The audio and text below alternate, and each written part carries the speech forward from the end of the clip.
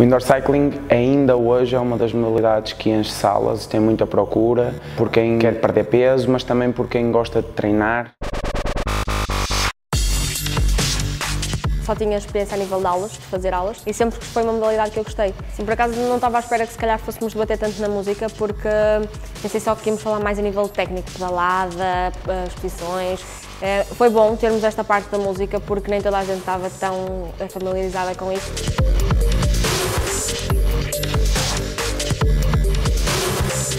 Quis abrir mais janelas de oportunidade, surgiu assim o fazer o indoor cycling, é uma das tendências do fitness, sempre foi e, e, é, e vai continuar a ser.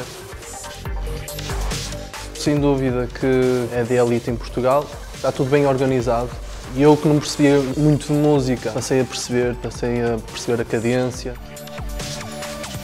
Eu já leciono esta modalidade, mas senti a necessidade sempre de aprender um bocadinho mais, porque tenho o, bastante afluência. Excelente formador, a transmitir bem os seus conhecimentos, nota-se que já tem uma prática eh, desta modalidade eh, de muitos anos, explica bem, gosta de partilhar o conhecimento, que isso é fundamental na nossa área.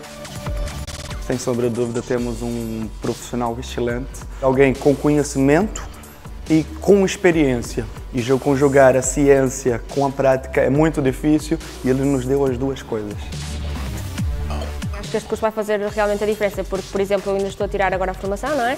E já tenho colegas meus que falaram comigo uh, sobre a futura possibilidade de poder dar aulas e isso é logo uma mais-valia.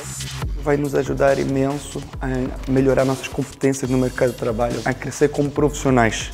Já me considero um profissional melhor daquilo que eu era quando entrei cá. O tempo que eles passam em cima de uma bicicleta já lhes dá uma boa bagagem para poderem dar aulas no futuro.